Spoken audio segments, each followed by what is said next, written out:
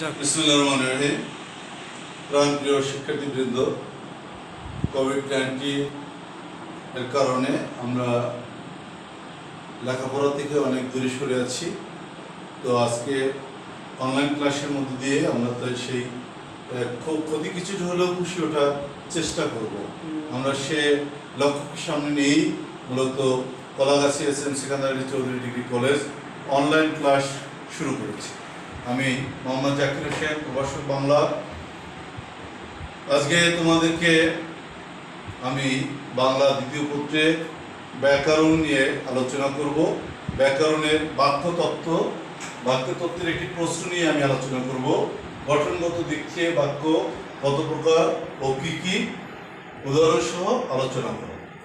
তো আজকে আমাদের পাঠের বিষয় হচ্ছে বাক্য বাক্যতত্ত্বের বাক্য গঠনগত দিক থেকে বাক্য প্রকার ও কি কি উদাহরণ সহ আলোচনা করো। আজকে আমরা এ বিষয়টি নিয়ে আলোচনা করব। আলোচনার শুরুতেই আমি তোমাদেরকে কিছু উদাহরণ দিতে চাই। প্রথমত তৃণা বই পড়ে। তৃণা বই পড়ে। দ্বিতীয় উদাহরণ হচ্ছে যিনি পরের উপকার করেন, তাকে সবাই শ্রদ্ধা করে। যিনি পরের উপকার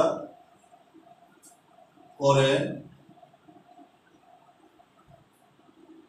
তাকে সবাই শ্রদ্ধা করেন। তাকে সবাই শ্রদ্ধা করেন। তৃতীয় একটি উদাহরণ হচ্ছে, তুমি অন্যায় করেছ, সুতরাং তোমাকে শাস্তি পেতেই হবে। তুমি অন্যায় করেছ, সুতরাং সুতরাং তোমাকে শাস্তি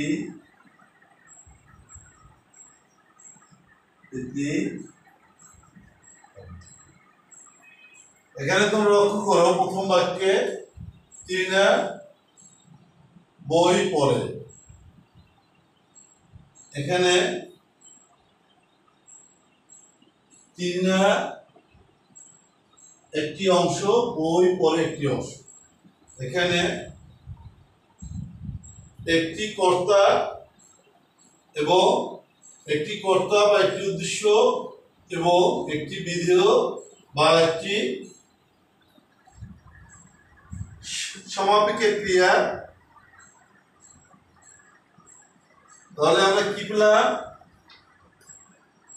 একটি কর্তা, একটি উদ্দেশ্য আর দ্বিতীয় অংশে হচ্ছে একটি সমাপিকের ক্রিয়া বা বিধি পরের বাক্যে পরের বাক্যে দুটি অংশ, যিনি পরের উপকার করেন, এটি একটি অংশ, তাকে সবাই শ্রদ্ধা করেন। এটি একটি অংশ। এখানে প্রথমটা হচ্ছে অপ্রধান বাক্য, যিনি পরের উপকার করেন। এটা হচ্ছে অপ্রধান বাক্য বা আশ্রিত বাক্য, আর পরেরটা হচ্ছে প্রধান বাক্য, তাকে সবাই শ্রদ্ধা করে। এরপরে তৃতীয় বাক্য হচ্ছে তুমি অন্যায় করেছ, সুতরাং তোমাকে শাস্তি পেতেই হবে। এখানে কি হচ্ছে? এই সুতরাং অব্যয় যুগে দুটি প্রধান বাক্যই তুমি অন্যায় করেছ, তোমাকে শাস্তি পেতেই হবে। তাহলে আমরা সেবারে গঠনগত দিক থেকে বাক্য কত প্রকার কি হলো? প্রথম একটি উদ্দেশ্য এবং একটি বিধেয় পরের বাক্য হচ্ছে একটি অপ্রধান বাক্য, একটি প্রধান বাক্য, পরের বাক্য হচ্ছে একটি, দুইটি প্রধান বাক্য, যেটি একটি অব্যয় দ্বারা যুক্ত হয়েছে। তাহলে আমরা গঠনগত দিক থেকে বাক্যকে তিন ভাগে ভাগ করতে পারি। কি কি? তাহলে প্রথম হচ্ছে সরল বাক্য, প্রথমটা হচ্ছে কি? সরল বাক্য দ্বিতীয় হচ্ছে দ্বিতীয়টি হচ্ছে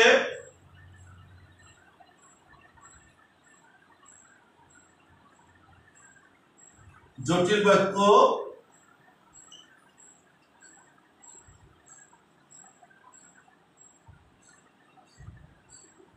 আর তৃতীয় হচ্ছে যৌগিক বাক্য।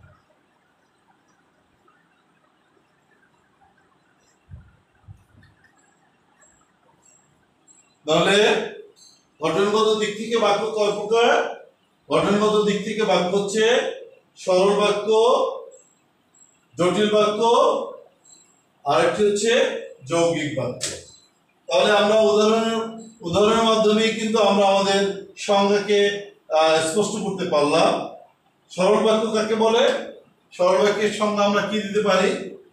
যে বাক্যে একটি মাত্র উদ্দেশ্য এবং একটি মাত্র বিধিও থাকবে, সেটি হচ্ছে সরল বাক্য। সরল বাক্য কি? যেটিতে একটি মাত্র উদ্দেশ্য থাকবে এবং একটি মাত্র বিধিও থাকবে, সেটি হচ্ছে সরল বাক্য। জটিল বাক্য হচ্ছে ওই বাক্য যে বাক্যে একটি অপদান বাক্য এবং একটি প্রধান বাক্য থাকবে, যে অপদান বাক্য, বাক্যটি প্রধান বাক্যের উপরে আশ্রয় নিয়ে বাক্যটিকে সম্পূর্ণ করবে। যৌগিক বাক্য হচ্ছে দুটি প্রধান বাক্য যেটি একটি অব্যয়ের মাধ্যমে সংযুক্ত হবে। তো আমরা আহ, সংক্ষেপে বুঝতে পেরেছি যে বাক্য গঠনগত দিক থেকে কত প্রকার কি কি? গঠনগত দিক থেকে বাক্যকে কয় ভাগে ভাগ করা হয়েছে? তিন ভাগে ভাগ করা হয়েছে। কি কি? সরল বাক্য জটিল বাক্য যৌগিক বাক্য। এবার আমরা একটু ক্লিয়ার করি সংজ্ঞায়িত করি সরল বাক্য কি জটিল বাক্য কি যৌগিক বাক্য কি? প্রথমত সরল বাক্য, যে বাক্যে একটি মাত্র কর্তা বা উদ্দেশ্য থাকে এবং একটি মাত্র সমাপকে ক্রিয়া বা বিধিও থাকে, তাকে সরল বাক্য বলে। যে যেটাকে আরও যদি আমরা উদাহরণ দিয়ে ক্লিয়ার করতে চাই, তাহলে এবার বলতে পারি, মনিরা কলেজে যায় তারপরে নাফিসা গান করে ইত্যাদি, এরকমের অনেক বাক্য আমরা বলতে পারি। তো এটি হচ্ছে মূলত মূলত কথা হচ্ছে সরল বাক্য হচ্ছে একটি মাত্র উদ্দেশ্য একটি মাত্র বিধিও থাকবে। তারপরে হচ্ছে জটিল বাক্য, জটিল বাক্যটাকে আমরা ক্লিয়ার করতে চাই।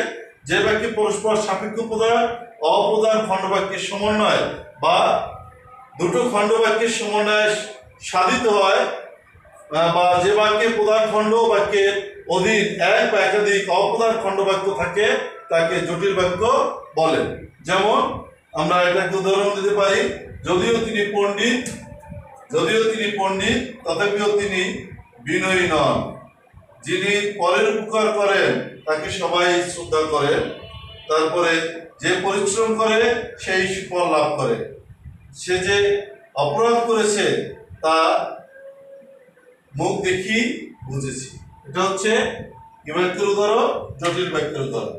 তারপরে যোগী বাক্য কি? পরস্পর নিরপেক্ষ।